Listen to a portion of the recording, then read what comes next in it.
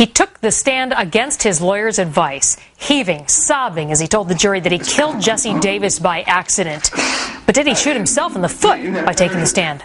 Joining us now is criminal defense attorney Gwen Lindsay Jackson. Thanks for being here. Okay, uh, your lawyers tell you don't take the stand. He does anyway. What does it say? Well, it tells me that he really is just, um, he's not thinking clearly. He doesn't know what he's doing in terms of how to handle himself in the courtroom. Mm-hmm. And we see that, you know, he didn't take his lawyer's advice. I think if he did not take the stand, he had a better shot because this is what we have. We have the prosecutor that did not have a clear proof that this woman died of strangulation because the body was so decomposed. Right, so it gives them a, a larger burden of proof to prove. But, uh, you know, at the same time, then, when you watch Bobby Cutts Jr. on the stand, he keeps on talking and he's sobbing and he's talking about, I couldn't believe this was happening. He, he know, allegedly uh, accidentally kills the girlfriend and then goes and takes a shower. Okay? And he says, the whole time I'm thinking, I can't believe this is happening. Instead of, I can't believe she's dead.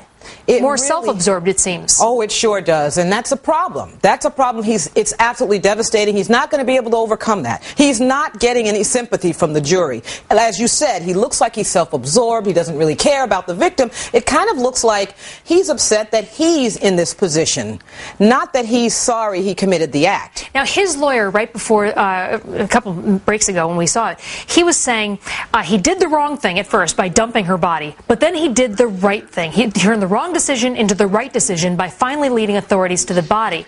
But there is a but. He did it, they say, because they knew that he was not where he said he was the day that uh, that she disappeared. Yeah, it really goes to well, he thought he was going to get caught, and then he led the authorities. I think that's what it is. I think that's clearly what how the jury is going to take it, and in all honesty, I really think he should not have taken the stand. He is self-destructing and he destroyed his chances. When you take a look at the lack of evidence, and again, because the body was so decomposed, does that, uh, does him taking the stand make it much easier for the prosecution to sway the jury? It sure does. Because we look at what the prosecution didn't have. They did not have a body that clearly showed that she died of strangulation. They had no expert testimony to that fact, except now they have this statement that he did kill her. And then they have this sort of story that he killed her with his elbow. I mean, it just does not make sense. Mm-hmm. When you uh, when you have been in the courtroom, do you ever run across people like this that you know you hire a lawyer and then you tell them I'm not heeding your advice. I'm going on the stand. I'm sort of sobbing. He kept on putting himself out there, even when they were looking for the for Jessie's body. He's